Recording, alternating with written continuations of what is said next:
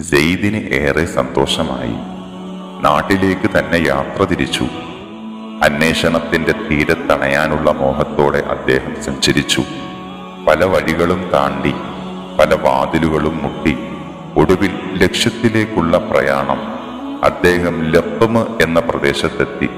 അക്രമികൾ അദ്ദേഹത്തെ കടന്നു പിടിച്ചു. മരണം ഉറപ്പായപ്പോൾ അദ്ദേഹം പ്രാപ്തിച്ചു എനിക്ക് എന്റെ ലക്ഷ്യത്തിലേക്ക് എത്താനായില്ല. എനിക്ക് ഹനീഫി സരണി പ്രാപിക്കാനും ആവുന്നില്ല. എന്റെ മകൻ സയീദിനെ നീ ആ മാർഗം തടയരുതേ പടച്ചവനെ. ദുഷ്ടന്മാർ അദ്ദേഹത്തെ കൊലപ്പെടുത്തി. അദ്ദേഹത്തിന്റെ അവസാനത്തെ പ്രാർത്ഥന അള്ളാഹു സ്വീകരിച്ചു. സെയ്ദിന്റെ മകൻ സയീദ് റതിയുള്ളാഹു അൻഹു സ്വഹാബിയായി.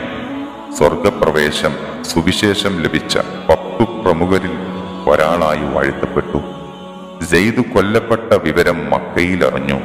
സത്യാന്വേഷിയുടെ വിയോഗം വറക്കത്ത് ബിൻ നൗഫലിന് താങ്ങാനായില്ല. ദുഃഖം കടിച്ചമർത്തിയ അദ്ദേഹം വിലാപവരികൾ രചിച്ചു നേർവഴിയോട് സെയ്ദ് കാണിച്ച താൽപ്പര്യം എഴുതിയ ശേഷം കവിതയിൽ അദ്ദേഹം പറഞ്ഞു നിശ്ചയം നിങ്ങൾ ഇബ്രാഹിം നബിയെ കണ്ടുമുട്ടും. ഏഴ് താഴ്വരകളുടെ ദൈർഘ്യം കണക്കെ ഭൂമിക്കടിയിലായാലും അള്ളാഹുവിന്റെ കാരുണ്യം നിങ്ങൾക്ക് ലഭിക്കും. സെയ്ദ് ഒരു നല്ല കവി കൂടിയായിരുന്നു. തൗഹീദിന്റെ മഹത്വം പറയുന്ന നിരവധി വരികൾ അദ്ദേഹത്തിന്റെതായി ഗ്രന്ഥങ്ങളിൽ ഉദ്ധരിച്ചിട്ടുണ്ട്. അദ്ദേഹം യഥാർത്ഥത്തിൽ ഏകദൈവ വിശ്വാസിയായി തന്നെയാണ് ഗണിക്കപ്പെടേണ്ടത്. ഇബ്രാഹിമി മാർഗത്തെ താൽപ്പര്യപ്പെടുകയും ഏകനായ അള്ളാഹുവിനെ മാത്രം ആരാധ്യനായി ഉൾക്കൊള്ളുകയും ചെയ്ത ആളാണ് അദ്ദേഹം. പിൽക്കാലത്ത് മുത്തുനബി സല്ലാഹു അലൈഹി വസല്ലമ തങ്ങൾ അദ്ദേഹത്തെ പുകഴ്ത്തി പറഞ്ഞിട്ടുണ്ട്. ഹദീത്തിൽ ഇങ്ങനെ കാണാം.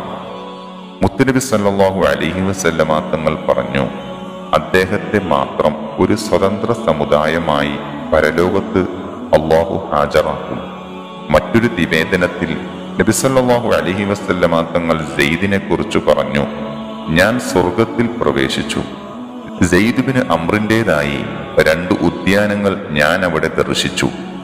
എവിടെയും ഇരുട്ടു പടർന്നപ്പോഴും നേർവഴിയിലൂടെ കരിന്തിരികൾ അങ്ങിങ്ങായി നിലകൊള്ളുന്നു. ലോകം മുഴുവൻ ഒരു പ്രവാചകന്റെ ആഗമനത്തിനായി കാത്തിരിക്കുന്നു. നിയോഗഭൂമിയിലേക്ക് ചിലർ സഞ്ചരിച്ചു കൊണ്ടിരിക്കുന്നു ചിലർ വഴിമധ്യേ വിയോഗം തേടി ചിലർ കാലേ കൂട്ടി എത്തിച്ചേർന്ന് പ്രതീക്ഷിക്കുന്നു. ലോകം തന്നെ ഒരു വരവേൽപ്പിനായി പാകപ്പെടുന്നു. എല്ലാ കണ്ണുകളും തിഹാമയുടെ താഴ്വരയിലേക്ക് തിരിയുന്നു. അവിടുത്തെ ചെറിയ ചലനങ്ങളെ പോലും കാലം കാതോർക്കുന്നു. മുത്തനബി സല്ലാഹു അലൈ വസല്ലമ തങ്ങളുടെ നിയോഗത്തിനായി പരിസരം പാകപ്പെടുന്നതിനിടയിലെ ചില ഏടുകൾ കൂടി നാം വായിക്കുകയാണ്. മദീനയിൽ ബനോ ഖുറൈള ഗോത്രക്കാർ അധിവസിക്കുന്ന സ്ഥലം. അവിടെ സിറിയയിലെ പുണ്യവാളനായ ഒരു യഹൂദ പുരോഹിതൻ വന്ന് താമസമാക്കി. മുത്തനബി സല്ലാഹു അലൈ വസല്ലമ തങ്ങളുടെ പ്രവാചകത്വ പ്രഖ്യാപനത്തിന് രണ്ടു വർഷം മുമ്പായിരുന്നു സംഭവം. ഇബനു ഹയ്യിബാൻ എന്നാണ് അദ്ദേഹത്തിന്റെ പേര്. ഭൗതിക പരിത്യാഗിയും വേദത്തിലും ആത്മീയതയിലും പരിജ്ഞാനിയുമായിരുന്നു അദ്ദേഹം. ക്രമേണ അദ്ദേഹം മദീനയിൽ എല്ലാവർക്കും സ്വീകാര്യനായി മാറി. മഴ ലഭിക്കാതെ വരുമ്പോൾ മദീനക്കാർ അദ്ദേഹത്തെ സമീപിക്കും. അല്ലയോ ഇബിനു ഹയ്യീബ പുറത്തേക്ക് വന്ന് ഞങ്ങൾക്ക് മഴ ലഭിക്കാൻ വേണ്ടി ഒന്ന് പ്രാർത്ഥിച്ചാലും. അപ്പോൾ അദ്ദേഹം പറയും പ്രാർത്ഥനയ്ക്ക് മുമ്പ് എന്തെങ്കിലും ദാനധർമ്മം ചെയ്യുക. നാട്ടുകാർ ചോദിക്കും എന്താണ് ചെയ്യേണ്ടത്? അല്പം കാരക്കയോ ബാർലിയോ അങ്ങനെ എന്തെങ്കിലും. ഉടൻ ജനങ്ങൾ ദാനധർമ്മങ്ങളുമായി എത്തും. ശേഷം തുറസായ ഒരു സ്ഥലത്ത് ഒരുമിച്ചു കൂടും.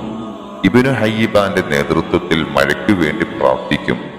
കൂട്ടം പിരിയുന്നതിന് മുമ്പ് മഴ ലഭിച്ചിരിക്കും. മദീനക്കാർക്ക് പല പ്രാവശ്യം ഇത്തരം അനുഭവങ്ങൾക്ക് സാക്ഷിയാകാൻ കഴിഞ്ഞു. നാളുകൾ കടന്നുപോയി. ഇബിനു ഹയ്യിബാന് രോഗം ബാധിച്ചു. എല്ലാവരും അദ്ദേഹത്തെ സന്ദർശിച്ചു. അദ്ദേഹം ചോദിച്ചു അല്ലയോ യഹൂദരെ ഞാൻ എന്തിനാണ് നാടും വീടും വിട്ട് ഇങ്ങോട്ട് വന്നത് എന്ന് നിങ്ങൾക്കറിയുമോ اللهم صل على سيدنا محمد وعلى آله وصحبه وسلم